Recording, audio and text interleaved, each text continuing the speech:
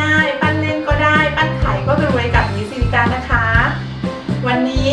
ครูจะมาสอนทำดอกคริสต์มาสค่ะ มีคอมเมนต์หนึ่งนะคะ บอกว่าให้ครูเนี่ยช่วยปั้นดอกคริสต์มาสให้ดูหน่อย ครูก็เลยจัดให้เลยค่ะคลิปนี้ เพราะช่วงนี้ใกล้เทศกาลคริสต์มาสแล้วนะคะ ใกล้วันคริสต์มาสเข้าไปทุกทีแล้ว คนที่ทำดอกไม้เทียนขายหรือว่าทำของที่ระลึกขายเนี่ย คงจะเริ่มทยอยทำดอกคริสต์มาสกันไปบ้างแล้วนะคะ เพื่อที่จะเอาไปใช้ในวันคริสต์มาสนะคะ ดี๋ยวดอกคริสต์มาสเนี่ยยากง่ายแค่ไหนก็ตามไปดูเลยนะคะ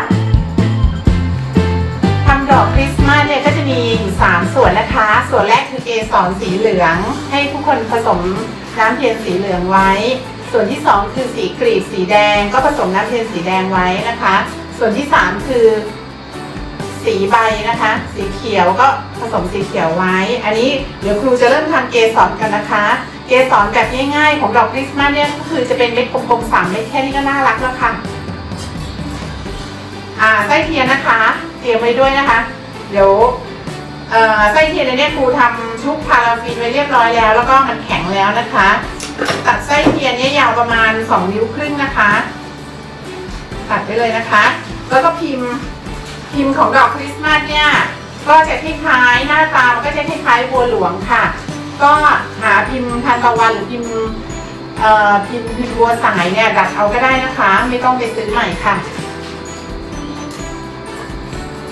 ทีนี้กระเบื้องนะคะ ก่อนที่จะทำอะไรกับกระเบื้องเนี่ย ควรจะทาน้ำมันพืชหรือว่าน้ำหอมก่อนนะคะ เพื่อให้พื้นมันลื่นๆนะคะ มันจะได้ไม่ติดเทียนเทียนจะได้ไม่ติดพื้นนะคะ เสร็จแล้วเดี๋ยวครูจะ เดี๋ยวครูจะเทน้ำเทียนสีเหลืองเลยนะคะ เพื่อทำเกสรถ้าเกิดใครทำเยอะนี่ทำเป็นแผ่นแล้วก็กรีดเป็นเส้นๆได้เลยนะคะ อันนี้ครูทำแค่ดอกเดียว ก็เลยใช้วิธีนี้ค่ะ เดี๋ยวรอให้แผ่นเทียนสีเหลืองอุ่นก่อนนะคะ เป็นแผ่นก่อนแล้วเดี๋ยวค่อยมาต่อกันค่ะพอแผ่นเทียนสีเหลืองอุ่นดีแล้วนะคะ แล้วก็ มาเลาะออกมาให้เป็นแผ่นเลยค่ะ แล้วก็กรีดให้มันเป็นเส้นนะคะ กว้างประมาณสักนิ้วหนึ่งหรือว่านิ้วครึ่งค่ะ อย่างนี้นะคะ ที่ที่ครูเคยทำนี่ก็ก็จะเรียกว่าเส้นก๋วยเตี๋ยวนะคะทำเป็นเส้นๆไว้เลย เอาไว้ใช้เลยค่ะ เอ่อเอากันไกรกรีดให้เป็นสามเม็ดก็พอนะคะ นี้ค่ะสามสามเส้นนะคะสามเส้นอย่างนี้นะคะ เสร็จแล้วก็มาจุ่มในน้ำเทียนเหลือง ที่ไม่ร้อนจัดมากนะคะ อันนี้คือครูผสมไว้แล้วนะคะ แล้วก็เอาน้ำที่น้ำเย็นมาใกล้ๆนะคะ เดี๋ยวครูจะจุ่มให้ดูนะคะ จุ่มลงไปเลยค่ะ ถ้าสมมติว่าน้ำเทียนเราเนี่ยมันร้อนจัด จะมันมันจะไม่เป็นเม็ดนะคะต้องให้น้ำเทียนอุ่นหน่อยนะคะ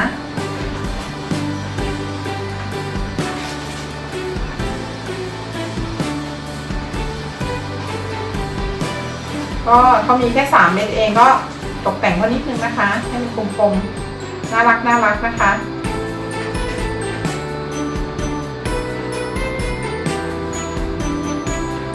เนี่ยค่ะ ได้ล้วถ้าสมมติว่าเม็ดไหนมันยังไม่โตเอาจุ่มเฉพาะเม็ดนั้นก็ได้นะคะ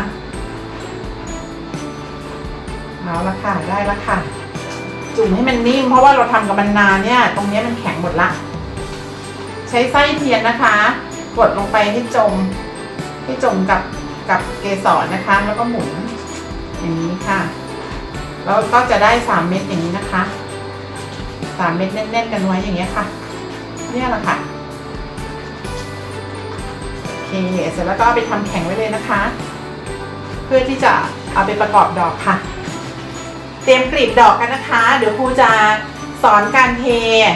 กลีบดอกลงบนพื้นโดยที่ไม่ต้องใช้กรอบนะคะสำหรับคนที่ต้องการกลีบบาง อย่างเช่นกลีบกุหลาบหรือว่ากลีบดอกทานตะวันที่มันมีจำนวนกลีบเยอะอะไม่ต้องกลีบหนามาก เราก็ใช้เทคนิคนี้ได้นะคะ เพราะว่าคนที่จะทำเป็นอาชีพเนี่ยบางทีก็ต้องทำอะไรที่ประหยัดเวลานะคะ ทาน้ำหอมหรือว่าน้ำมันพืชลงบนแผ่นกระเบื้องนะคะ ส่วนผสมของตัวพาราฟินเนี่ยก็จะเป็นพาราฟินหนึ่งกิโลนะคะ แล้วก็ microwax อันหนึ่งขีดค่ะ ผสมสีแดงลงไปนะคะ เทคนิคการผสมสีแดงเนี่ยเดี๋ยวครูจะแยกเป็นคลิปต่างหากนะคะ แต่ว่าครูบอกคร่าวๆว่าสีแดงเนี่ยเวลาผสมเนี่ยให้ผสมสีส้มหรือสีเหลืองลงไปด้วยนะคะ ไม่อย่างนั้นวันรุ่งขึ้นสีมันจะหม่นออกเป็นแดงมืดๆนะคะ ถ้าผสมสองสีนี้ นี้ลงไปด้วยจะได้แดงที่แบบแจ่มมากอะค่ะนะคะ เอาละค่ะเดี๋ยวครูจะทำให้ดูนะคะ ก็เทลงไปเลย วนเหมือนขนมเบื้องนี้ละค่ะกว้างๆเลยนะคะ ให้ใช้กระบวยใหญ่นะคะคือใช้กระบวยใหญ่ค่ะ อย่างนี้ค่ะ เอาก้นมันบังคับขอบนะคะ ก้นของกระบวยอะค่ะ พอขอบมันเริ่มแข็งๆนิดนึงก็เทเติมได้เลย เห็นไหมคะอย่างนี้ก็ไม่ต้องใช้กรอบก็ได้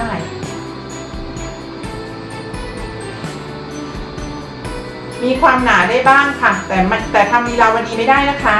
การเทวิธีนี้ มันจะหนาไม่พอค่ะ อันนี้ครูกะว่าได้ประมาณหนึ่งดอกแล้วเอาเท่านี้นะคะ เดี๋ยวนะคะยังไม่เสร็จเท่านี้ สำหรับคนที่ทำขึ้นดอกตัวอย่างให้ลูกค้าหรือว่าออกแบบตัวอย่างใหม่เนี่ยก็ให้ทำวิธีนี้นะคะ จะได้ประหยัดเวลา ครูได้ผสมน้ำเทียนสีเขียวไว้เรียบร้อยแล้ว เพื่อที่จะทำใบนะคะ ส่วนผสมของน้ำเทียนสีเขียวเพื่อที่จะทำใบเนี่ยก็เป็นพาราฟีน 1กิโลไมโครแวค1ขีด สีเขียวและสีเหลืองนะคะ ขาดไม่ได้เลยค่ะ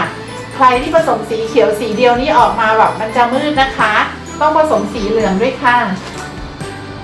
อย่าลืมใส่น้ำหอมที่ใบด้วยนะคะ ดอกของเราไม่ได้หอมเฉพาะตัวดอกนะคะ ตัวใบก็หอมด้วยเอาละอย่างนี้นะคะ เหมือนกันเลยค่ะ อันนี้คือใบนะคะ อย่าให้มันชนกันนะคะมันคนละสีกันมันเป็นสีตรงกันข้ามอะค่ะ ผสมกันแล้วมันจะกลายเป็นสีหม่นหมองนะคะ อันนี้ใบของครูนี่ก็จะมีสามใบครูก็ น่าจะประมาณนี้แหละค่ะ สมมติว่าครูขึ้นตัวอย่างให้ลูกค้านะคะโอเค ทั้งสองสีนี้รอไว้ให้อุ่นนะคะ เดี๋ยวเรามาตัดกรีดกันค่ะ พอแผ่นเทียนอุ่นดีแล้วนะคะ ทั้งสองสีเลย ก็ใช้เกียงงัดขึ้นไปเลยค่ะ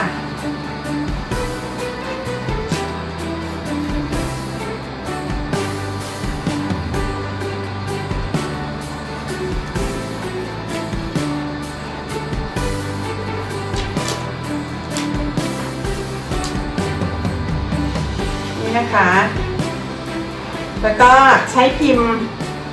ใช้พิมพ์ตัดตัวนี้นะคะ ตัดเลยค่ะ ของครูใช้แค่หกกลีบนะคะ ใครจะทำดอกไซส์ไหนนี่บางทีอาจจะต้องขึ้นตัวอย่างทำมาดูก่อนนะคะ ใช้กระดาษแข็งทาบก่อนก็ได้ค่ะ แล้วถ้าเกิดมันใหญ่ไปเล็กไปก็ค่อย ๆ ลดลงนะคะถ้าเกิดเรารีบไปซื้อพิมพ์มาก่อนเนี่ย มันก็จะอาจจะไม่พอดีได้สองสี่หกนะคะ เอาละค่ะ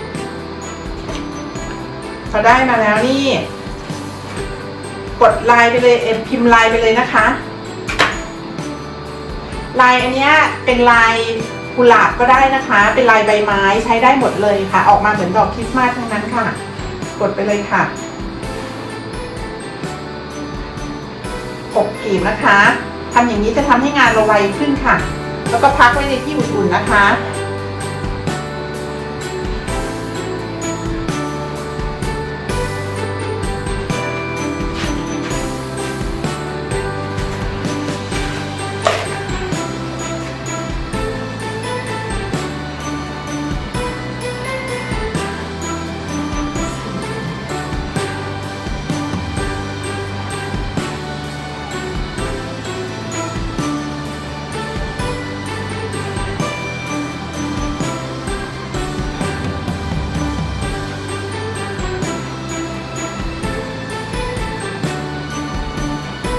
สองสี่หกเดี๋ยวครูจะเกลือไว้กรีดนึงนะคะ หลังจากได้กลีบดอกแล้วนะคะ เดี๋ยวเรามาต่อกันเลยที่ใบค่ะแซะมันออกมาเลยนะคะ ที่ใบมันนี่ก็จะใช้พิมพ์ตัวเดิมนะคะ กดเลยค่ะ ของครูใช้สามใบนะคะกดเผื่อไว้อันนึงค่ะ นี้นะคะแซะมันออกมาค่ะ แล้วพิมพ์ลายลงไปเลยนะคะ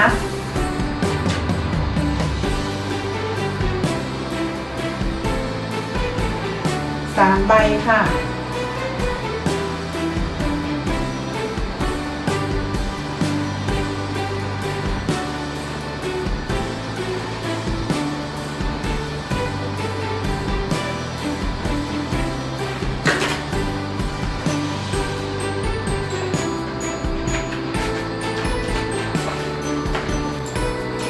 เราใช้เกสรที่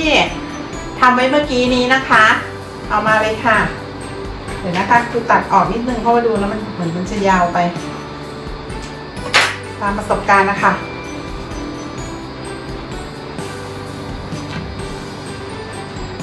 คุณจะมีน้ำเทียนใส่ไว้ถ้วยหนึ่งนะคะ เพื่อเวลาประกอบดอกจะได้ง่าย ประกอบดอกนี่จะคล้ายๆ ดอกลิลลี่เลยนะคะ วางไปสามวางง่ายๆ อย่างนี้เลยค่ะ ดอกคริสต์มาสเขาก็จะเขาจะสวยด้วยลายใบอยู่แล้วนะคะเรียงไปสามนะคะ อย่างนี้ค่ะ จัดให้พอดีนะคะ ถ้าใครกลัวหลุดก็จุ่มเชื่อมค่ะ นี่ค่ะ แล้วก็สับหว่างเลยค่ะ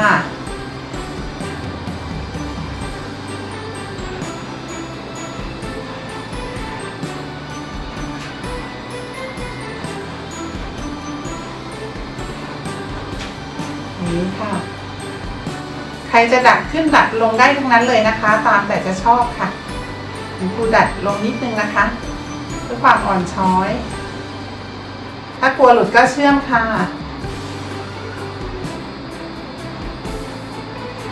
ก็ติดใบเลยนะคะ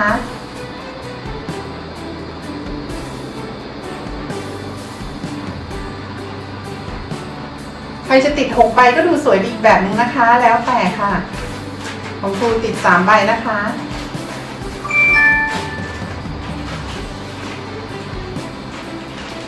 พยายามติดดูให้ดอกมันเป็นวงกลมนะคะ อย่าให้ดอกอย่าให้ดอกมันเป็นดูสามเหลี่ยมนะคะ จัดดูความเรียบร้อยอีกทีนึง ถ้าใครกลัวหลุดก็จุ่มค่ะ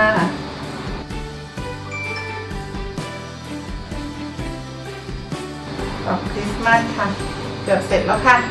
ตัดก้นนะคะ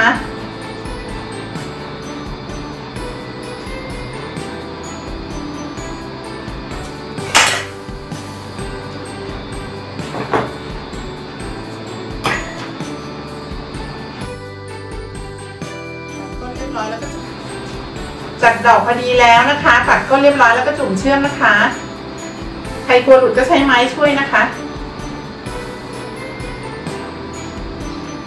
เดี๋ยวอุตส่าห์ทำดอกไปตั้งนานแล้วแบบหลุดปอมลงน้ำเทียนไปเลยยุ่งเลยค่ะ ต้องทำใหม่ทั้งหมดเลยนะคะ ค่ะ จับปุ่มเข้าที่เดิมได้นะคะ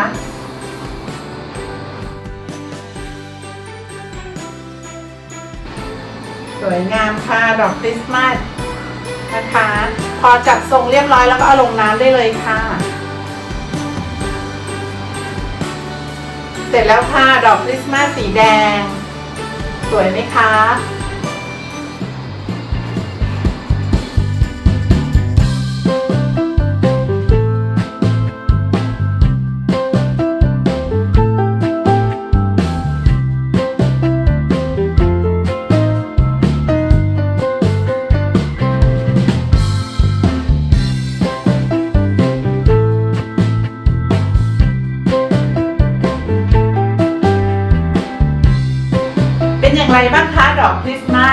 น่ารักใช่ไหมล่ะคะทำก็ไม่ยากเลย เราจะทำเป็นคริสต์มาสแบบที่ไม่ใช่สีแดงก็ได้นะคะทำเป็นสีหลาย ๆ สีก็ได้ ก็ลูกค้าก็นิยมเหมือนกันค่ะ หรือใครที่ชอบทำแต่สีแดงก็สีแดงก็ได้ค่ะ ถ้าดูคลิปนี้แล้วชอบก็อย่าลืมกดไลค์ กดติดตามให้ครูด้วยนะคะ อย่าลืมกดกระดิ่งด้วยนะคะ เพราะว่าครูจะทยอยทำคลิปเทียนหอมออกมาเรื่อยๆ จะได้ไม่พลาดชมกันค่ะ ขอบคุณที่รับชมนะคะ สวัสดีค่ะ